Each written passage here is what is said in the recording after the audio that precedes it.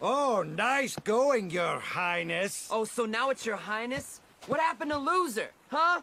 Hey, if you think this is getting you out of anything, well, it isn't. We're heading back to far, far away, one way or another. And you're gonna be a father. What? Just said father. You're... I said king, you're gonna be king. You're gonna be king. Yeah, right. Where do you think you're going? Far, far away. From you. You get back here, young man, and I mean it.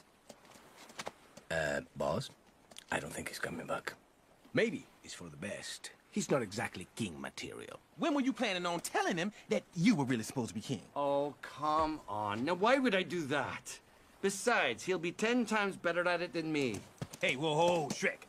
Then you're gonna have to change your tactics if you want to get anywhere with this kid.